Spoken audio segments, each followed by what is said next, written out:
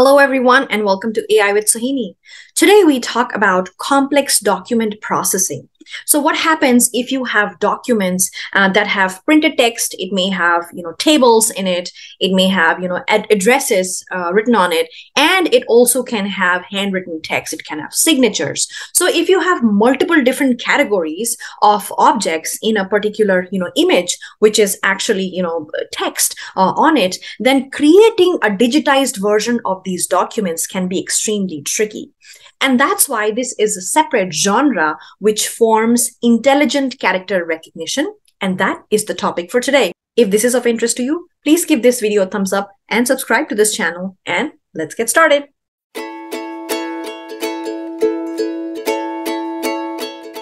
So let's start by understanding the major difference between intelligent character recognition and optical character recognition. Now, the major difference is the fact that most of the real world documents are complex documents. So let's say that you get a document notarized, or if you have, you know, a administration or business documents where you already have printed stuff but you also you know end up having a signature or a seal and, and a signature on top of it or additional text in multiple different formats then it becomes a complex document. And a standard ocr which is just used to read text at different angles and orientations may not really work because now you really have to do two things which is digitize a printed text but also look at handwritten text detection which is a whole different different problem altogether. So today we are going to be looking at intelligent character recognition and we are going to be learning about it through this platform called V7. We are going to be learning the different AI models that are available at the free academic licensed version. And I really encourage anybody and everybody watching this to try it out if you want to use something for document processing in your research work.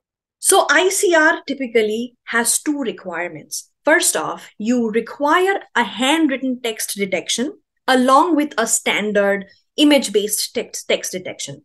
And secondly, you require categorization of these texts. So let's say that you have a document that has addresses, that has um, you know actual text corresponding to it, it has signature.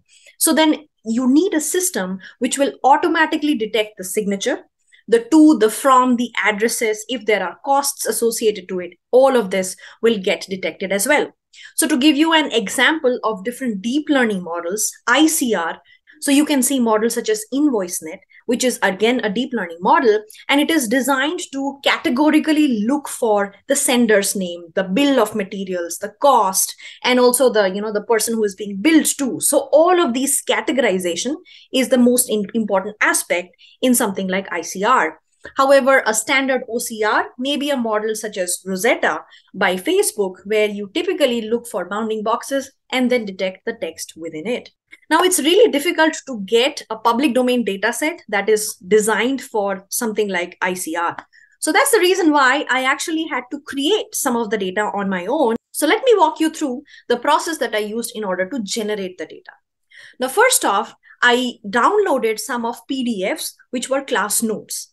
And then I used my Wacom tablet in order to annotate. So pull up these Power PDFs and annotate these slides. And those annotated versions, I then use the Adobe PDF to JPEG converter to convert these into images.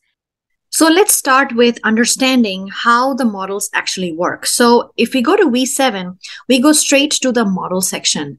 And here in the model section, you can actually see there are multiple publicly, you know, trained uh, models that's already available out there.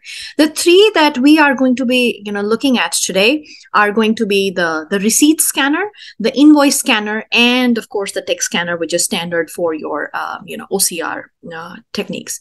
So let's start with the invoice scanner, and here I'm just going to, you know, click start. The model is ready. You will see that it is running, and let's go into the model itself. And what we can do here is we can upload an image and check the outcome on it. So let's start with the first one, which is actually a, a poor quality, uh, you know, invoice that has text as well as, uh, you know, typed uh, you know data.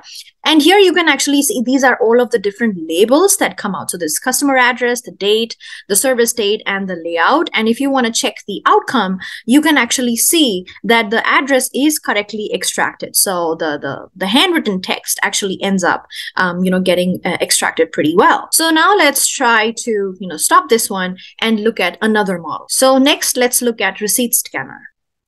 Again the inference will be run here and you can again see that the categories are uh, are given out. But as you can see the number of categories are lesser. So the invoice scanner was actually doing a better job uh, in on this particular image so now if you take a look at the at a receipt scanner, so you'll actually, and this was since this was actually a receipt, you'll see that the number of different categories is way higher in in this case. And uh, again, the it's it'll, it'll, tell you what the different text was, uh, what the different quantities was with the with the confidence score that comes uh, you know corresponding to each and every one of them. So this ends up being a, a, good option if you specifically have a receipt so that's why although it may seem like something similar but a receipt as well as a you know invoice scanner can actually you know run pretty differently okay now I, that I know that my model is running, let's create a new data set. So uh, first off, let me create a new data set. And here I'm, I'm calling it uh, complex doc. And I say continue. And I'm gonna send all of the images to it with the goal to specifically be able to extract all the different kinds of text in this particular um, you know data set. So if I want to create a new class, let's say I call it written with the bounding box and text, and I add it, okay? And then I say the basic workflow And once this is generated, now I will need to go to the basic workflow uh, corresponding to it and change it because now I will need to create a model. And for the AI model, I will need to connect it to uh, the, the text scanner. And once this is there, I am then going to connect the images directly to AI model. And from the AI model, I'm going to send them to annotate, right? And if I say save and apply, and now in order to see, you know, how has the process worked, let me go and send a particular image to the model. So let's review the results of the text scanner on something like a like which looks like a receipt.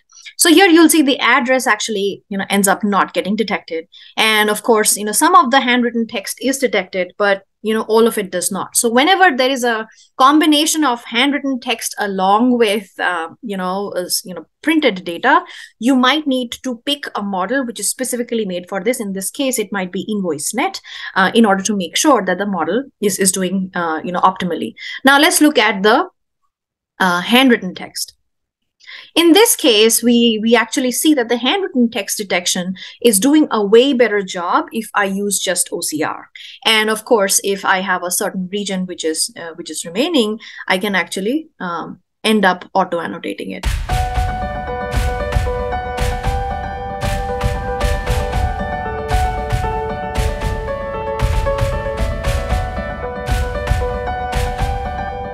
So here you see the words that were you know not detected.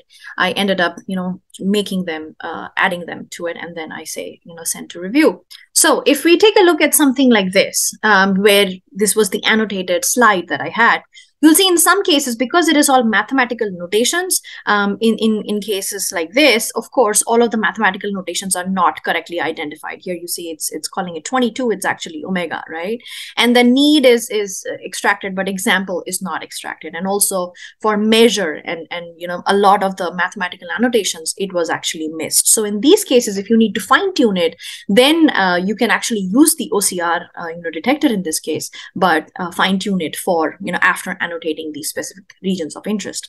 Now let's look at this particular, you know, notarized document. And if you will see that the OCR is actually doing pretty good job at something like a, you know, notarized document. Of course, some of the text is, is missing, but apart from that, if you, you know, scroll into the, the handwritten text detections, it has actually done a pretty good job at the, at the certifications and, you know, even extracting data text from the, uh, from the seals here. We take a look at something like this, then you will again see that uh, ideally in this case uh, a receipt a receipt detector would be would probably be a better identifier because there you'll not just detect all of this text but you will also be able to um, you know categorize them. Final thoughts uh, the v7 platform has uh, text scanners that are of you know trained on very different kinds of documents. As you've seen there is an invoice version there's a receipt version there's a and of course there's a you know text scanner that works pretty well on handwritten as well as uh, you know printed text. So for content digitization specifically for um, you know complex documents the, there is a, a, great variety of starting points and you can start from either one of them and, and keep fine tuning it based off of the format in which your your your data gets uh, you know extracted. And you can always try out which one uh, you know is, is suits your model the best. So in this case just start with either one of the three InvoiceNet receipt scanner or with your ocr and keep fine tuning based off of your data. So I hope you find this useful uh, in order to not just annotate, but also learn about models and to make your models better.